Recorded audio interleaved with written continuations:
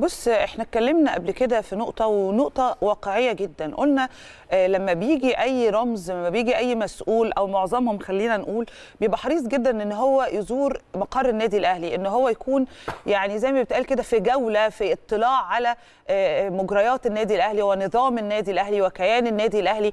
وده برضو مش كلام. إحنا عرضنا لحضراتكم كم المسؤولين ورؤساء الأندية المختلفة والمنافسة بالمناسبة اللي بيجي وبيحب إن هو يقوم بجولة داخل مقر النادي الأهلي. بالجزيرة ويشوف تاريخ البطولات ودولاب البطولات بتاعنا. كل ده بيفرق بشكل كبير جدا. فجولة كانت لطيفة جدا ومحترمة جدا. وزي ما كريم بيقول ليها انعكاس إن أنت حاجة كبيرة أنت كيان كبير جدا. مسؤولين من دول مختلفة بيبقوا حريصين إن هم يجوا ومش بس كده يشوفوا أوجه التعاون بينك وبينهم على أصعدة مختلفة. أعتقد ده أمر لازم الواحد يفرح بشأنه يا كريم. وتاكيدا بقى للتفصيلة اللي أنت ذكرتيها من شوية. بصي معالي السفير ده سفير إيه؟ الأرجنتين.